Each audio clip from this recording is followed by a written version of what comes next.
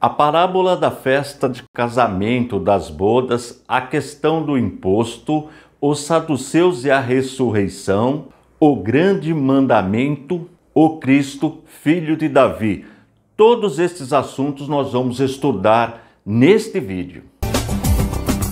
Seja bem-vindo ao nosso canal e se você ainda não inscrito, faça sua inscrição e dá um toque no sininho. Assim, sempre quando eu disponibilizo um novo vídeo, você já é avisado. Aproveita, deixe seu joinha aí, seu likezinho para motivar o professor, faça seu comentário, todos os comentários são respondidos e nos ajude na divulgação do nosso canal, que tem como objetivo primordial o ensino da poderosa palavra de Deus. Agora chega de moleza, vamos trabalhar. Nesta série, nós estamos estudando o primeiro livro do Novo Testamento, o Evangelho segundo escreveu Mateus.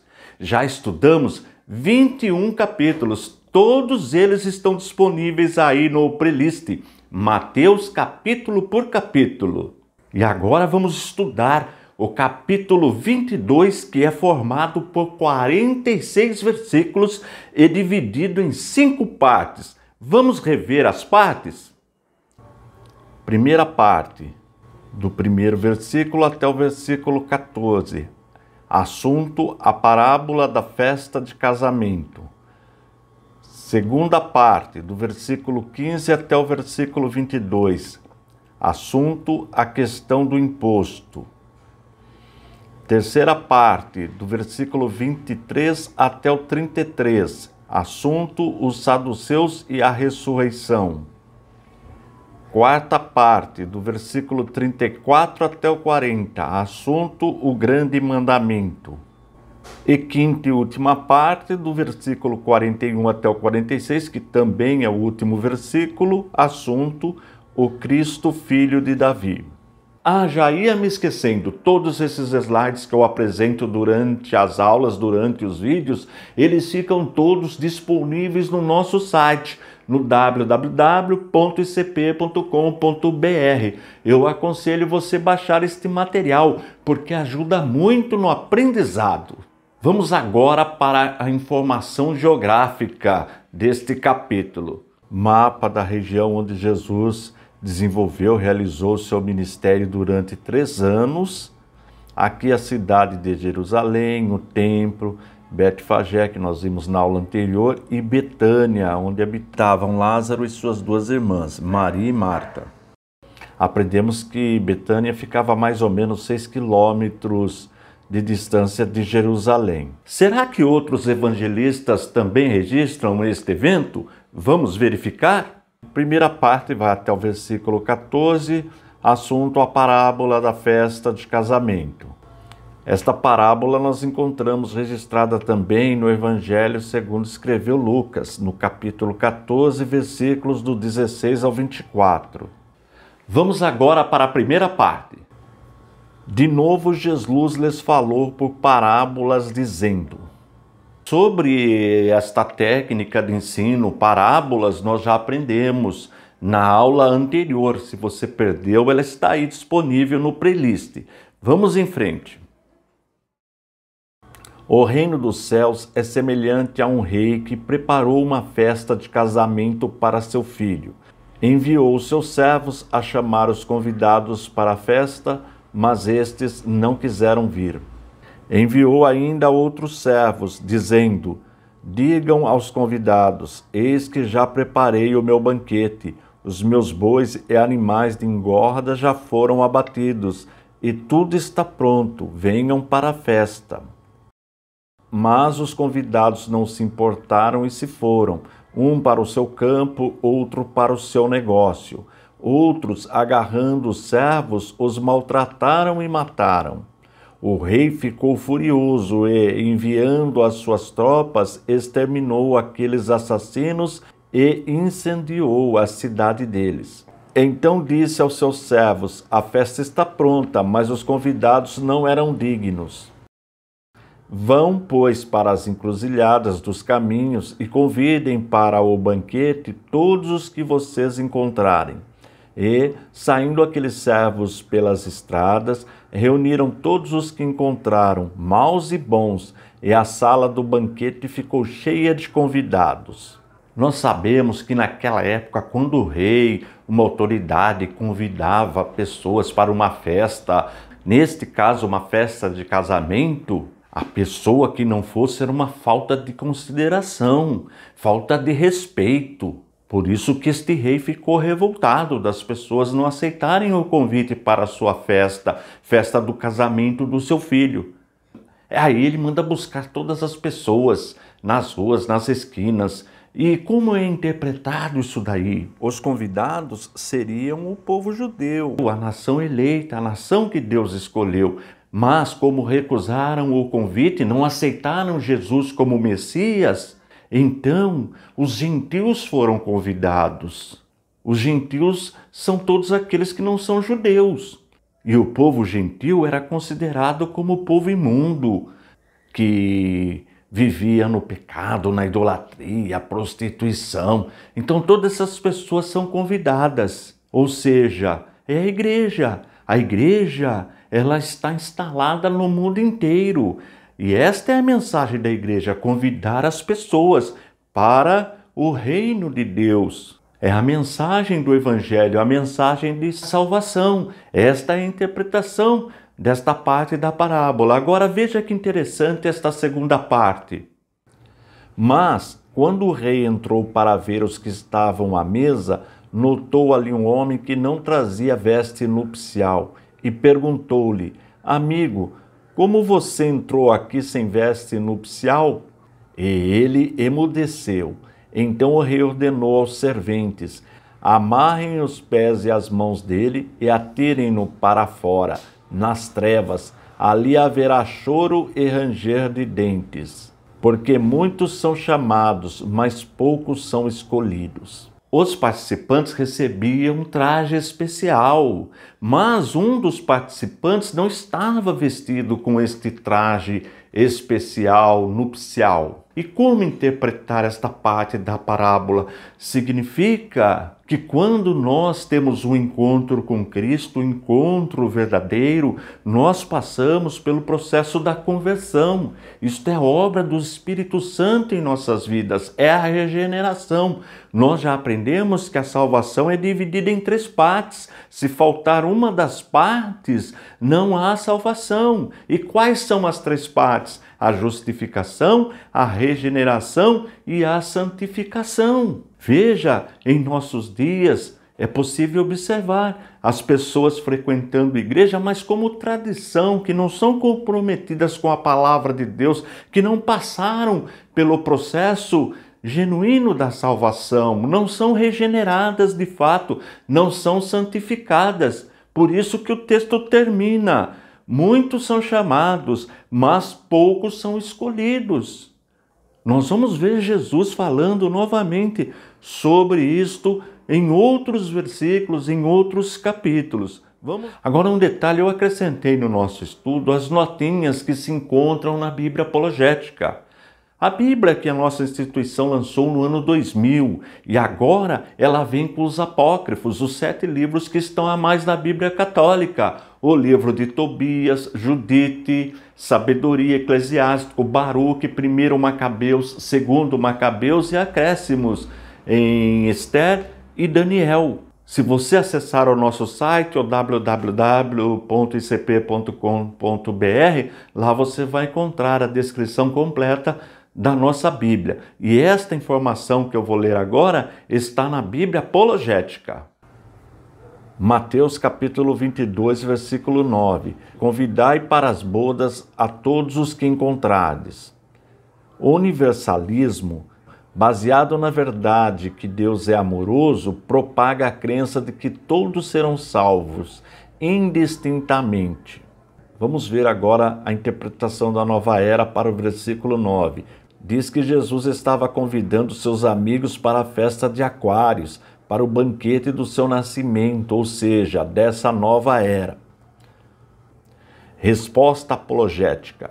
O versículo 11 deste capítulo, que revela a necessidade da veste nupcial, estar espiritualmente limpo, implica em que o convite de Cristo à salvação não é incondicional, antes está atrelada à necessidade de obediência ao Evangelho, que retrata o sacrifício vicário, situação que não se observou no indesejável convidado.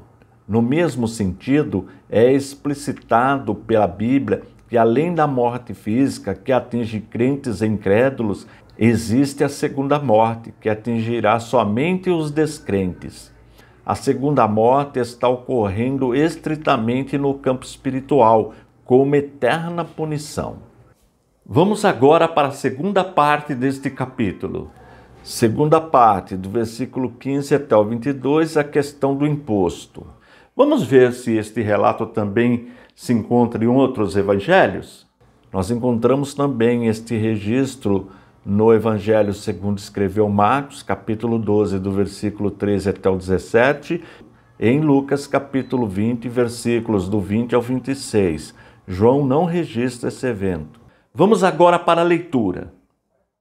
Então os fariseus se retiraram e consultaram entre si como surpreenderiam Jesus em alguma palavra. Enviaram-lhe discípulos juntamente com os herodianos para lhe dizer: Mestre, sabemos que o Senhor é verdadeiro e que ensina o caminho de Deus de acordo com a verdade, sem se importar com a opinião dos outros, porque não olha para a aparência das pessoas. Assim sendo, diga-nos o que o Senhor acha é lícito pagar imposto a César ou não? Mas Jesus, percebendo a maldade deles, respondeu: Hipócritas, por que vocês estão me pondo à prova? Mostrem-me a moeda do imposto. Trouxeram-lhe um denário, e Jesus lhes perguntou: De quem é esta figura e esta inscrição? Eles responderam: De César. Então Jesus lhes disse: Deem, pois, a César o que é de César e a Deus o que é de Deus. Ouvindo isto, se admiraram e, deixando, foram embora.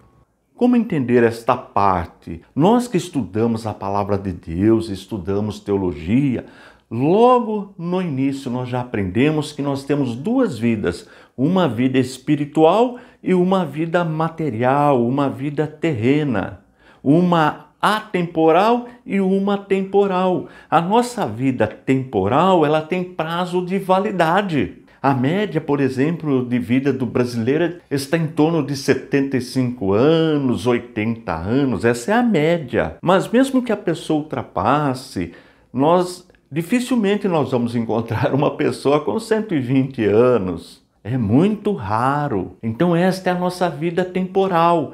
E para nossa vida temporal, não necessariamente nós precisamos da Bíblia.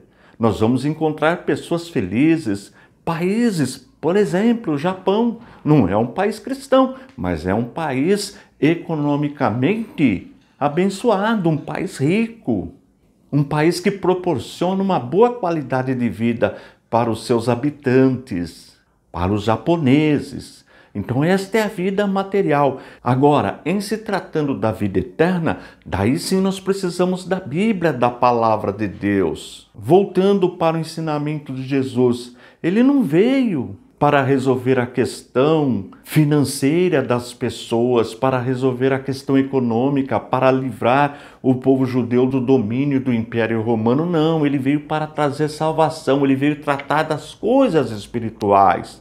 Infelizmente, nós vemos nos nossos dias, claro que não podemos nunca generalizar, líderes religiosos misturando tudo, misturando, por exemplo, política com religião. São coisas antagônicas, não que seja pecado a política, o cristão ser um político, não. Isto não é pecado, mas precisa ter discernimento. A política trata das coisas terrenas a religião, a igreja, da nossa vida espiritual. Portanto, o que é de Deus deve ser dado para Deus e o que é dos homens para os homens. É isto que o texto nos ensina. Agora, quando há uma mistura, aí vem a confusão, vem o escândalo. Esse ensinamento, ele é muito importante e muito atual. Vamos agora para o comentário apologético deste ensino. Lembrando que estes comentários, estas notas estão no rodapé da Bíblia Apologética com os Apócrifos, publicação da nossa instituição, do ICP Instituto Cristão de Pesquisas. Vamos ver a interpretação do Espiritismo. O versículo 21, dai, pois, a César o que é de César. Declara que este versículo está se referindo ao cumprimento dos deveres para com a família, a sociedade, as autoridades e os indivíduos. Resposta apologética. Sem dúvida, o objetivo do esclarecimento apresentado pelo Espiritismo é incutir na mente dos homens o entendimento de que o que vale nesta vida e para as vidas futuras é praticar tão somente atitudes socialmente corretas, omitindo as orientações bíblicas que se harmonizam com o plano de salvação. Devemos lembrar, no entanto, que o exercício de correção social dever de todo cristão e homem da sociedade, não tem nenhuma valia para fins salvíficos, o que contesta frontalmente a equivocada tese espírita que afirma: fora da caridade não há salvação. Vamos para a terceira parte. Terceira parte do versículo 23 ao 33, assunto: os saduceus e a ressurreição. Vamos verificar se este assunto também se encontra em outros evangelhos? Encontramos também esse registro em Marcos, capítulo 12, versículos do 18 ao 27, e Lucas, capítulo 20, versículos do 27 ao 40. João não registrou este evento. Vamos agora para a leitura. Naquele dia, alguns saduceus que dizem não haver ressurreição aproximaram-se de Jesus e lhe perguntaram: Mestre, Moisés disse se alguém morrer não tendo filhos, o irmão desse homem deve casar com a viúva e gerar descendentes para o falecido. Ora, havia entre nós sete irmãos. O primeiro, tendo casado, morreu e, não tendo descendência, deixou sua mulher para seu irmão. O mesmo aconteceu com o segundo, com o terceiro, até o sétimo. Por fim, depois de todos, morreu também a mulher. Portanto, na ressurreição, de qual dos sete ela será esposa? Porque todos casaram com ela. Jesus respondeu: O erro de vocês está no fato de não conhecerem as Escrituras nem o poder de Deus. Porque na ressurreição nem casam nem se dão em casamento, mas são como os anjos no céu. Quanto à ressurreição dos mortos, vocês nunca leram o que Deus disse a vocês? Eu sou o Deus de Abraão, o Deus de Isaac, o Deus de Jacó. Ele não é Deus dos mortos, e sim de vivos. Ouvindo isto, as multidões se maravilhavam da sua doutrina. Os saduceus não acreditavam na ressurreição, na vida após a morte. E existem grupos religiosos que também negam por exemplo, a imortalidade da alma. Negam o estado intermediário. O que é o estado intermediário? É quando a pessoa deixa o corpo. Nós usamos o termo morreu. Na verdade, a pessoa sai do corpo e continua consciente, e há duas alternativas: ou a pessoa vai para o paraíso, ou vai para um lugar de tormento. Nós já aprendemos sobre isso, eu tenho vídeos aí tratando desta doutrina, imortalidade da alma, o paraíso, o inferno.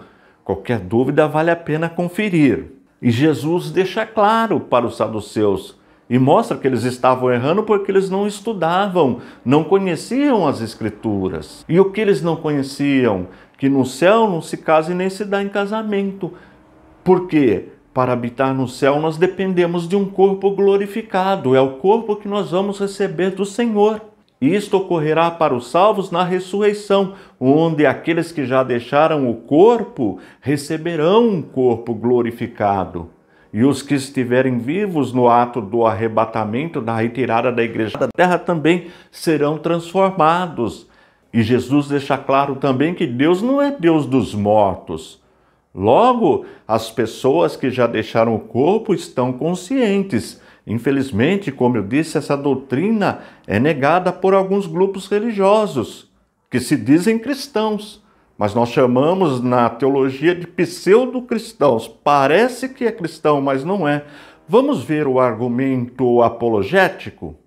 Nem casam nem se dão em casamento, mas serão como os anjos. Meninos de Deus afirmam que no céu o relacionamento sexual será aberto, insinuando com isso que os anjos têm vida sexual ativa, mas sem compromisso matrimonial. Já o mormonismo declara que seus adeptos poderão casar e dar-se em casamento no céu. Vamos para a resposta apologética. Vejamos a resposta de Jesus: Errais não conhecendo as Escrituras nem o poder de Deus. A Bíblia afirma que seremos como os anjos de Deus no céu. Entendemos pelo texto que os anjos nem casam nem são dados em casamento. Quando indagado pelos saduceus, o objetivo de Jesus não era discutir a respeito de quem seria parceiro sexual de quem, mas sim defender a verdade de que no céu não haverá relacionamentos conjugais. Uma vez que os nossos corpos estiverem ressurretos e glorificados, seremos como os anjos de Deus. Não casaremos nem procriaremos. Os anjos foram criados de uma só vez, não se procriaram. Aí vem a referência. Quanto ao sexo, as Escrituras ensinam que deve ser praticado apenas dentro do casamento. Aí vem as referências. Já o versículo 32, que diz não é Deus dos mortos, mas dos vivos, é utilizado pelo catolicismo romano. Cita este versículo para justificar a intercessão dos santos e Maria junto a Deus. Vamos para a resposta apologética. Jesus afirma que aqueles que já dormiram no Senhor, mortos para nós, estão na verdade vivos para Deus. Isso elucida a questão da sobrevivência da alma. Apocalipse capítulo 6, versículos de 9 a 11. Pois Deus é Deus dos vivos e não dos mortos. O Senhor é o Deus de Abraão, Isaque e Jacó. Todos esses homens já morreram, mas para Deus estão vivos. Não existe apoio escriturístico para a doutrina da intercessão realizada pelos santos. Os mortos estão conscientes no céu, mas não podem entrar em contato com os que estão na terra. Logo, não podem ouvir as orações dos vivos. Vamos para a quarta parte. Quarta parte, do versículo 34 até o 40. O grande mandamento. Vamos ver se esse assunto também está registrado em outros evangelhos? Nós encontramos também esse registro em Marcos, capítulo 12, versículos do 28 ao 34, e em Lucas, versículos do 25 ao 27. João não registra este assunto. Vamos agora para a leitura. Entrando os fariseus, sabendo que Jesus havia silenciado os saduceus, reuniram-se em conselho.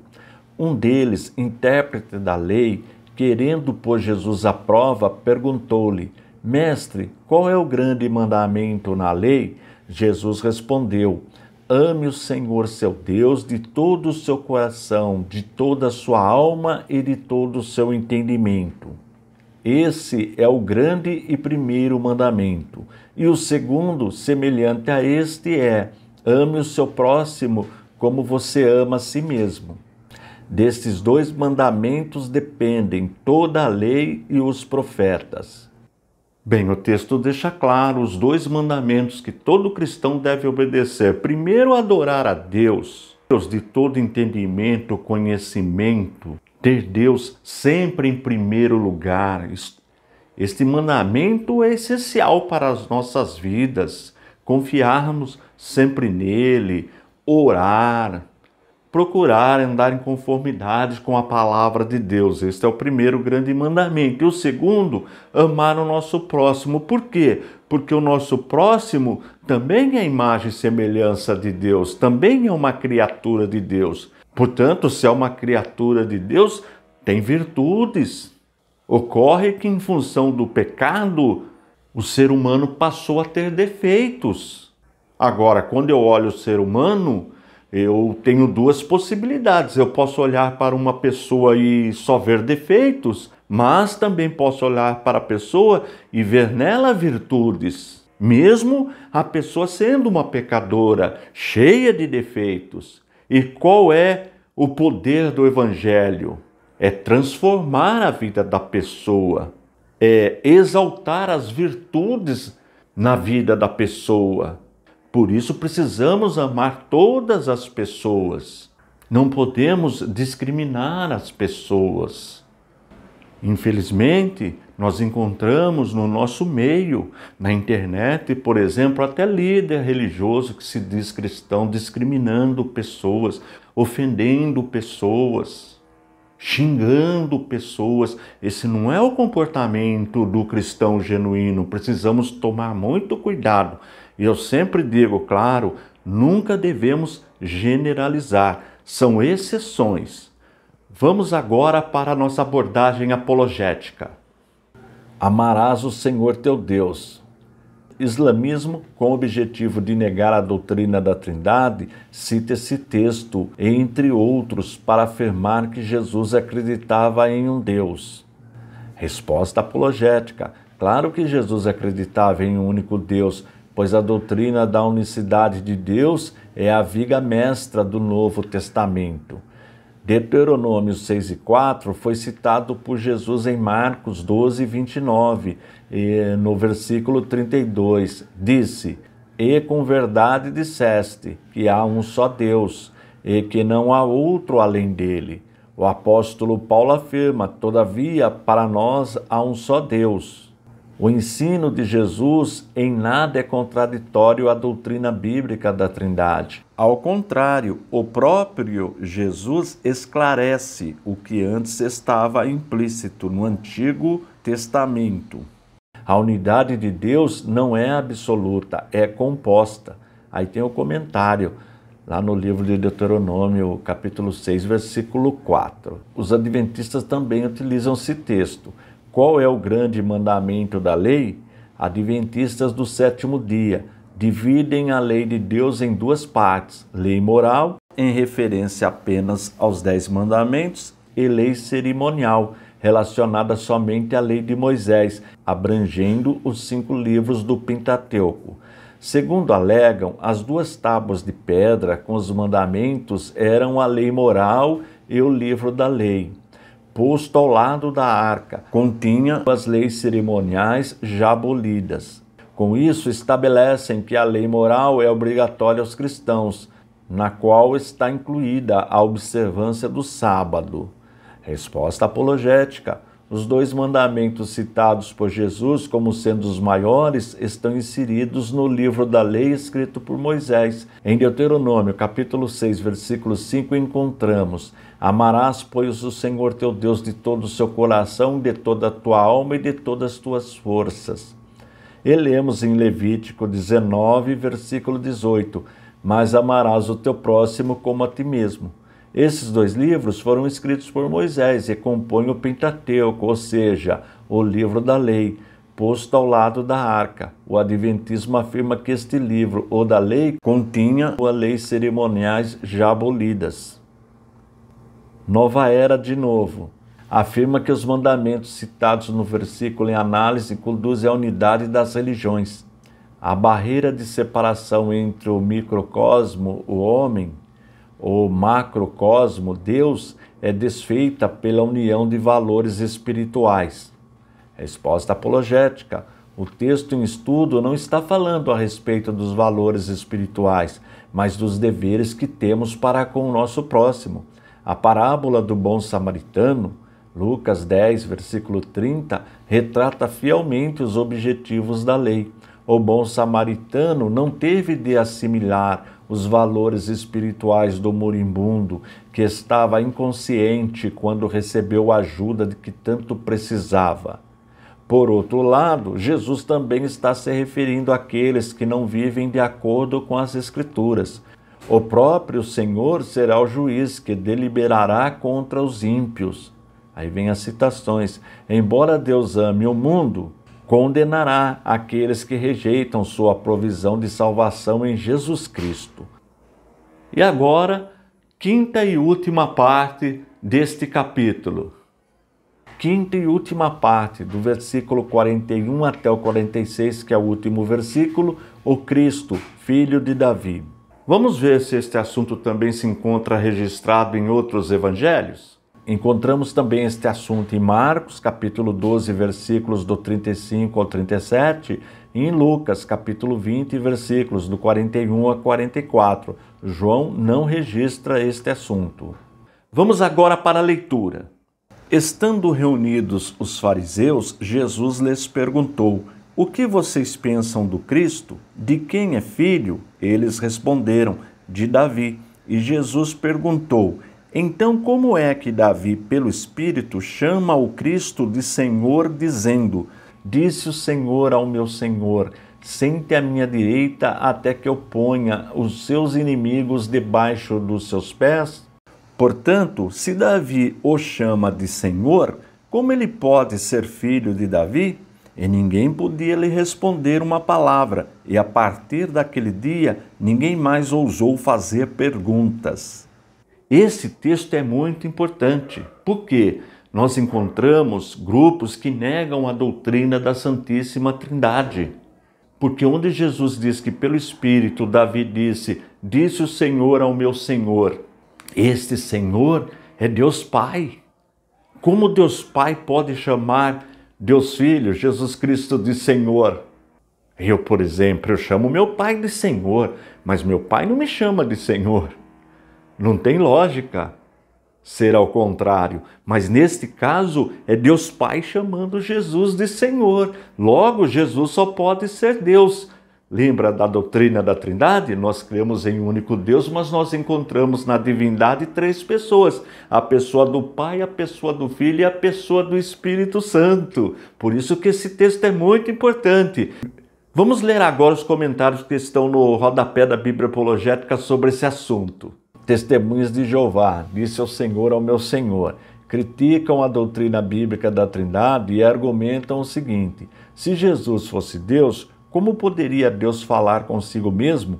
E ainda que a tradução do Novo Mundo expõe melhor o texto, a pronunciação de Jeová a meu Senhor é. Resposta apologética. Em primeiro lugar, Deus não está falando consigo mesmo, como argumentam as testemunhas de Jeová. Quando afirmamos que Jesus é Deus, não estamos dizendo que Jesus é o Pai. O grupo confunde essa doutrina bíblica e tem a ousadia de afirmar que os evangélicos são contraditórios quanto ao conceito da Trindade. Mas não é bem assim. Ou seja, os cristãos não confundem as pessoas da unidade composta de Deus, um só Deus, três pessoas, Pai, Filho e Espírito Santo. Mateus 28 e 19.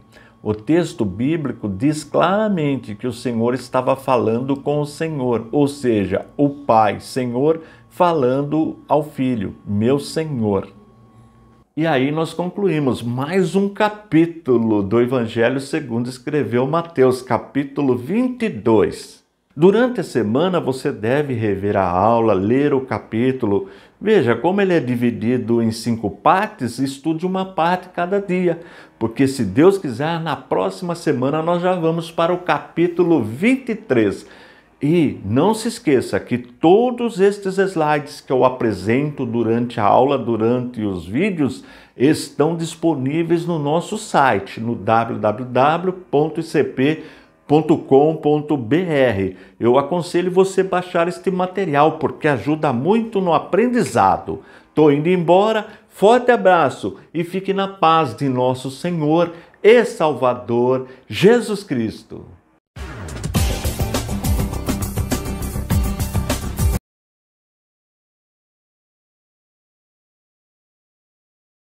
Disse o Senhor ao meu Senhor: Sente à minha direita até que eu ponha os seus inimigos debaixo dos seus pés?